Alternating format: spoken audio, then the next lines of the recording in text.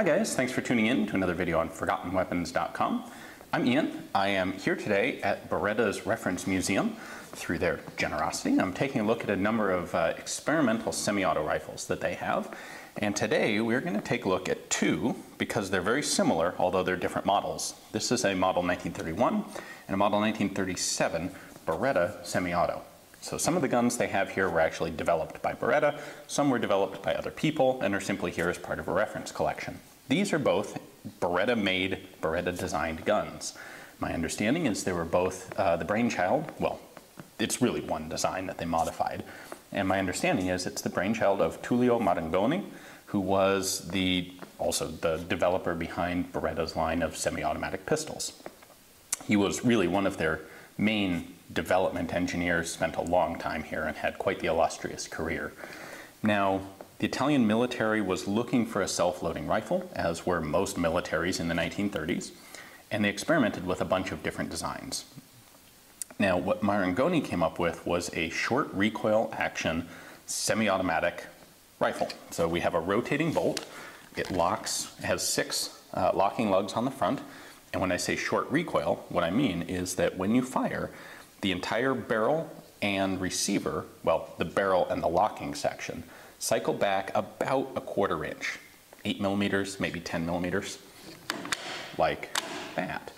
You'll notice when this goes back, when it's all the way to the rear, the bolt is cammed up slightly. That's unlocked, and once it's unlocked like this, it can then cycle backwards to extract and eject the empty case and load a new one. This is actually kind of like the, uh, the 1941 Johnson rifle, although this predated the Johnson substantially. Now, these two rifles look a bit different, and they are a bit different, although they're the same mechanism. The basic difference here is this is the 1931 pattern gun. This is, in fact, serial number one, dated 1931. And this rifle is in 6.5 Carcano, and it uses the standard six round Carcano en bloc clip. This was Marengoni's first development. Well, six years later, the Italian army had started working with some other ideas. They developed a 7.35 millimeter cartridge. Uh, they thought that the 6.5 wasn't really big enough. They wanted to go to a 7.35 instead to give the cartridge a little bit more oomph. So Marangoni redesigned the gun slightly, and we get this, which is the same basic action, but in 735 millimeter. Now he made a number of other changes, a couple extra features to the mechanism. Interestingly, the adjustable rear sight was replaced with a fixed sight. That's similar to what we would see on the Carcano bolt action rifles um, at this same time period. Um, the 735 carbines had fixed sights on them instead of the adjustable sights on the earlier 6.5 guns.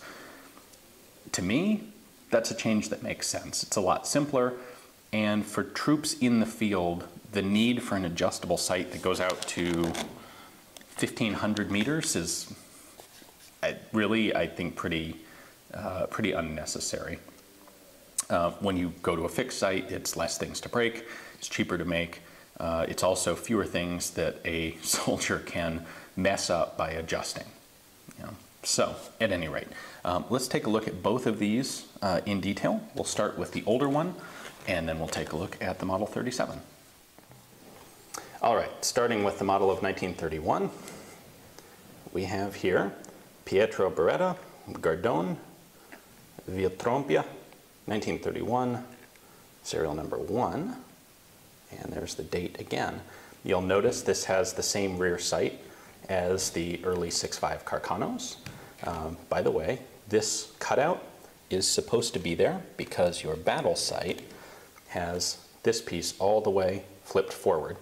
So you use this rear sight, and that's why there's a cutout in the handguard. All right, so moving to the front, we have a fairly heavy finned barrel to improve cooling, and then it's got a what looks like a brass uh, sleeve that it actually rides in, so that as the barrel cycles back and forth,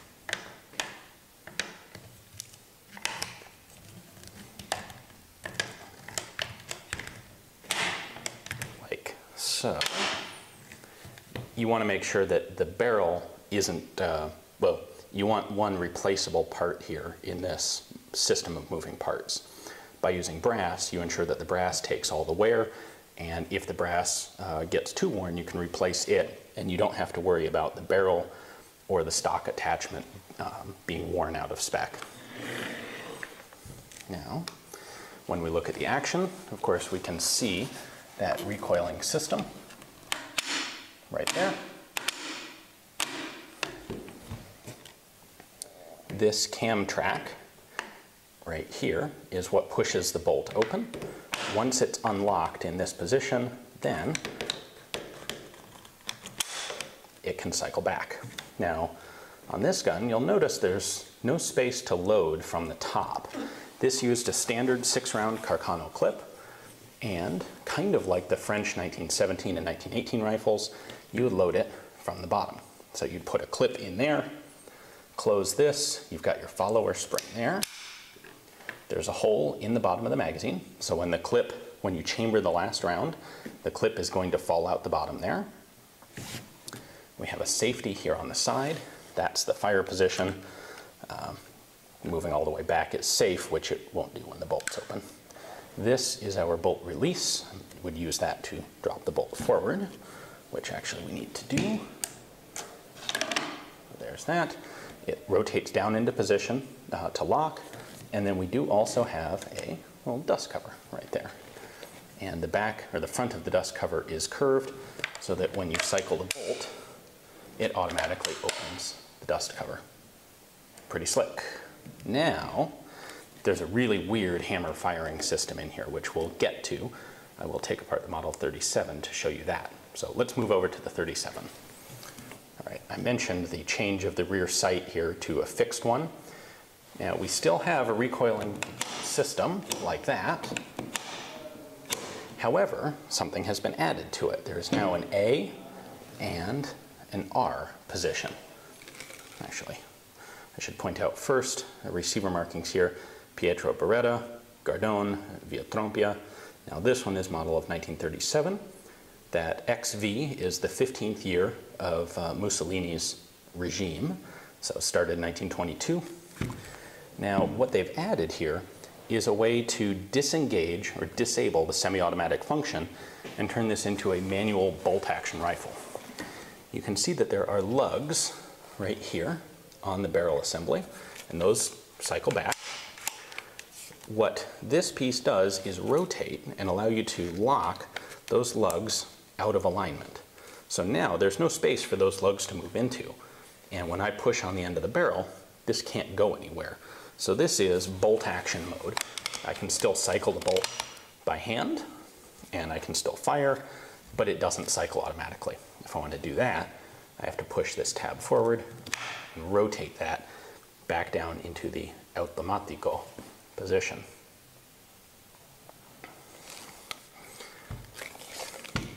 Now, looking at the bottom, we can see there's no longer a hole in the bottom. We have a Mauser style of floor plate. And on top, we now have a stripper clip guide. Now, the best information I have says that this was a nine round internal magazine with a special stripper clip. Um, they don't have one of the clips here available, so I have no idea. I don't have one to show you. It seems a little bit odd that they would do nine rounds instead of 10. 10, of course, could use a pair of five round clips.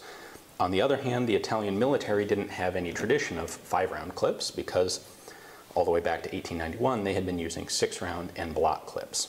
So maybe nine, I guess, makes sense. Uh, logistically, maybe that's easier to deal with if you've been doing six and now you have nine. I don't know. All I can do is speculate there. Um, the bolt release is gone here. We now have it built into the ejector. So I push that in. Oh, I'm sorry. Uh, drop the follower in order to let the bolt home, like so. Now, to take this apart, oh, one last bit. Up here at the muzzle, we now have this metal um, sort of handguard. That, I suspect, would get rather hot. You want to hold on to this back here on the wood. We still have a brass um, sleeve that the barrel cycles back and forth in, like so. Uh, but they've gotten rid of the cooling fins. A lot of things were done to make this gun a little bit less expensive. So no cooling fins. Um, and then it also kind of matches the general pattern of Italian development where it's a little bit shorter. Um, this is like the, the short rifle length instead of a little bit in between a carbine and a long rifle. All right, now for disassembly, I'm gonna start by locking the safety on so that I don't inadvertently drop the hammer. And then I need to unscrew this rear receiver plug. So it's locked in place until I hit the ejector button, which allows me to unscrew it. Uh, Tullio Marengoni was also responsible for the Beretta 38 through 44 series of submachine guns, and they also had a tubular receiver design like this. All right, that's going to give us this receiver end cap, mainspring guide, and mainspring. Then I can pull this sheet metal dust cover off. Again, this is really thin and feels quite delicate.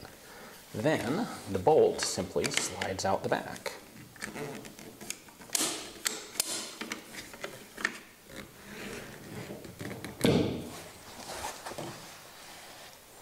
All right, here is our bolt, and inside it we have a rather odd looking firing pin assembly. This has its own uh, spring. This is the firing pin spring. This prevents it from going forward and firing when the bolt closes. That's just a, uh, basically a, well, yeah, prevents it from firing when the bolt closes. Now you can see that that is keyed right there. We have a matching keyway here. The way that works, that slides in right there. And then the firing pin is actually under spring tension like that. And this is hammer fired. So I'll show you the hammer in a moment. But this center hole in the bolt is for the mainspring. And then this lug on the bottom both guides the firing pin itself and is also what the hammer hits. So when the hammer hits it, it goes in like that against spring pressure. And you can see that the firing pin protrudes there.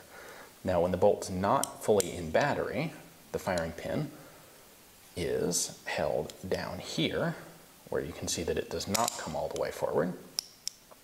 Because it's under, so that, that firing pin spring is doing, doing two jobs. It's preventing it from uh, firing under inertia by going forward. It's also pulling the firing pin, well, from this direction counterclockwise, which means as soon as the bolt's in battery, the firing pin is going to want to be in this firing position where it can protrude through like that. So really an unusual system, but one that appears to work. Um, it's a little finicky to put this back in the gun because you have to make sure that this is held in this position to go into the receiver while also depressing the, the, the magazine follower and pushing forward on the bolt handle. So I mentioned it's hammer fired. You can see the hammer right down there. It's this big curved surface because it actually has to miss the mainspring and just hit the bottom of that firing pin insert. This guy is our ejector. It's spring loaded and it's held out of the way until the bolt opens fully, then it kicks open.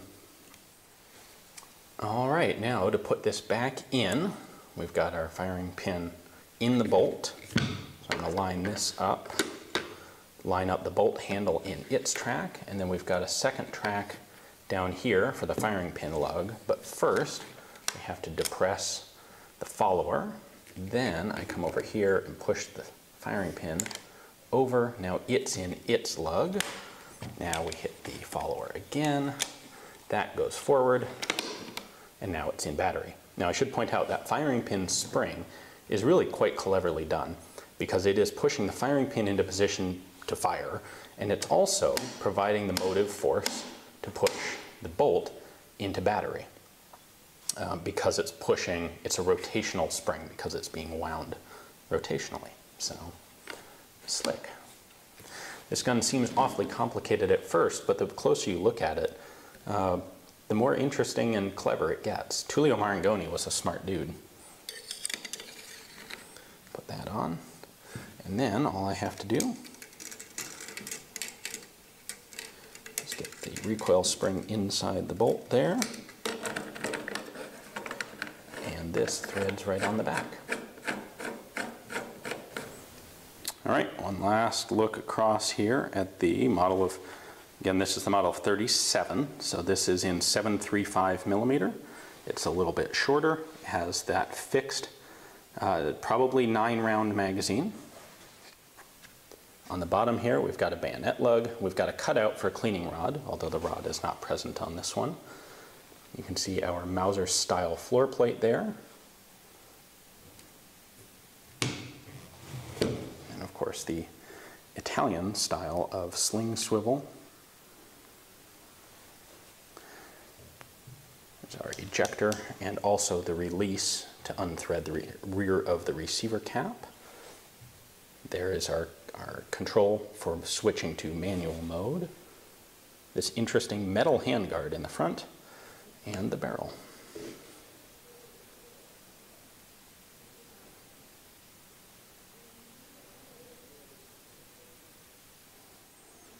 And our last pan across, the model of 31. So this is the 635 millimeter version.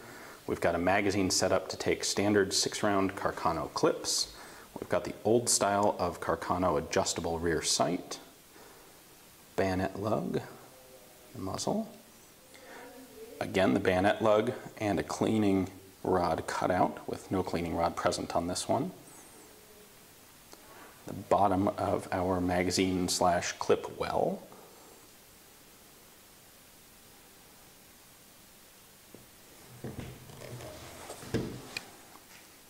Side mounted sling swivel. Oh, we didn't look at that before. A nice big old Beretta Gardone proof mark and serial number one on the stock. This one, of course, has the bolt release on the opposite side of the receiver tube.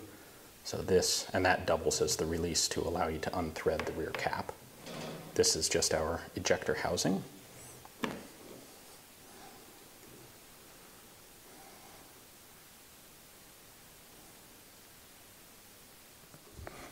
Thank you for watching, guys. I hope you enjoyed the video. This was a fantastic opportunity to take a look at a couple of these extremely rare prototype rifles from Beretta. I'm very grateful to Beretta for allowing me to come in here and take a look at these and bring them to you guys. If you enjoy this sort of content, please consider checking out my Patreon page and uh, joining to help support my work if you like it. That's uh, my main source of funding that allows me to do things like travel to Italy to show you guys cool stuff like this. Anyway, tune back into Forgotten Weapons for more early self-loading rifles. Thanks for watching.